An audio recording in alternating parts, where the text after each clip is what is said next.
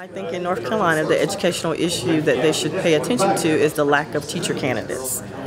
Um, teacher pay is critical to get us closer to the national average so that we can keep good, qualified teachers that are helping students to be successful in the classroom in the profession.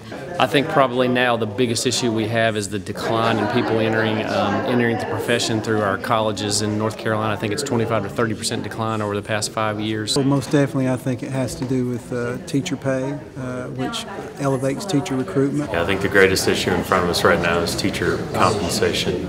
Um, the teacher candidate pool for education is drying up very quickly.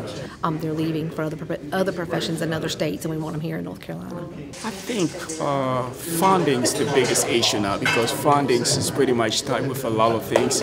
When you're looking at teachers' pool, administrators' pool, it's all tied with funding. Um, I live in a high growing district where we're going to need a lot of people to move here to want to teach over the next 10 or 15 years, and that decline um, is a major issue that we need them to focus on.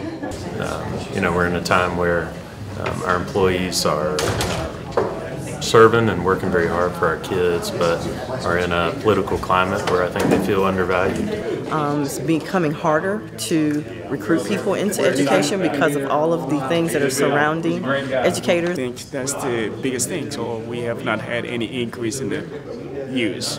So that's having a trickle effect in everything that we do. And especially those in my district alone, over 52% of our employees have 10 or more years of experience. And that's a group of, of employees in North Carolina that haven't seen really any leveraging of improved compensation.